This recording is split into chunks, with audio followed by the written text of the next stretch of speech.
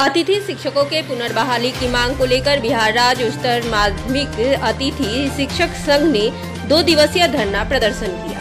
शहर के थाना चौक पर बिहार माध्यमिक शिक्षक संघ के बैनर तले अतिथि शिक्षकों ने धरना देकर अपनी मांगों के समर्थन में आवाज़ बुलंद की। मौके पर संघ के उपाध्यक्ष ओम प्रकाश राय ने कहा कि विगत 20 नवंबर को जिला शिक्षा पदाधिकारी पूर्णिया द्वारा निर्गत आदेश पत्रांक 134 के बाद ज़िले में कार्यरत इकसठ अतिथि शिक्षकों को कार्यमुक्त कर दिया गया, जबकि माध्यमिक शिक्षा बिहार के निदेशक का सैतीस शिक्षकों को ही सेवा से मुक्त करने का निर्देश था। इससे ये शिक्षक सड़क पर आ गए हैं और भुखमरी की समस्या से जूझ रहे हैं। उन्होंने कहा कि ज़िले में कुल चौरासी अतिथि शिक्षकों की बहाली के बाद विद्यालयों में शिक्षा का स्तर काफ़ी ऊपर उठा है। बच्चों के परीक्षा परिणाम भी पहले से बेहतर हुए हैं। बावजूद इसके, शिक्षा विभाग ने ऐसा आदेश देकर अतिथि शिक्षकों के साथ सौतेला व्यवहार किया है। हमारे अतिथि शिक्षक की बहाली 2018 के जुलाई में हुआ था और पूरे आरक्षण रोस्टर और नियमावली के तहत बिहार सरकार अपने पदाधिकारियों को आदेश देकर, अपने नियोजन इकाई को आदेश देकर सारे नियमों के तहत हम लोग को बहाली किया। और पूर्णिया में कुल फ़र्स्ट चरण में 22 और द्वितीय चरण में अड़सठ अतिथि शिक्षकों की बहाली हुई।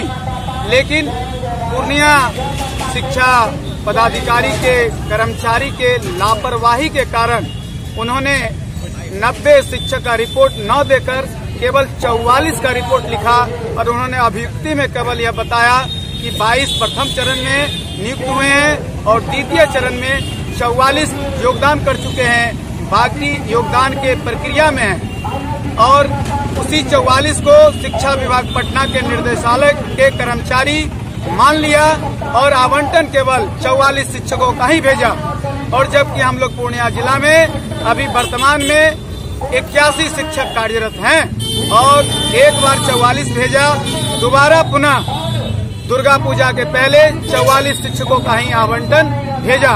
और तब पूर्णिया जिला के शिक्षा विभाग के का नींद खुला और तब उन्होंने शिक्षा विभाग पटना के निर्देशालय को अपनी रिपोर्ट सौंपा कि हमारे यहाँ कुल इक्यासी शिक्षक कार्यरत हैं और जिसको शिक्षा विभाग पटना ने नहीं माना और न मानते हुए अपनी तुगलकी फरमान जारी कर, जबकि हमारे पास ये सबूत हैं। शिक्षा मंत्री ने जाँच लिखा था, जब हम लोगों ने शिकायत किया था कि हम लोग इक्यासी शिक्षक कार्यरत हैं और इस जाँच के विरोध जाँच को न मानते हुए शिक्षा विभाग, पटना के पदाधिकारियों ने अवहेलना करते हुए और अपनी तुगलकी फरमान जारी कर टेलीफोन पे दूरभाष पे पूर्णिया डीओ को सूचना दिया, इनको हटा दिया जाए। और पूर्णिया डीओ ने सूचना पर पूर्णिया जिला में कार्यरत इक्यासी अतिथि शिक्षकों को हटा दिया। लोगों के साथ एक बहुत बड़ा अन्याय हुआ है और अभी तक पेमेंट भी नहीं दिया गया है। और बिना किसी सूचना के हट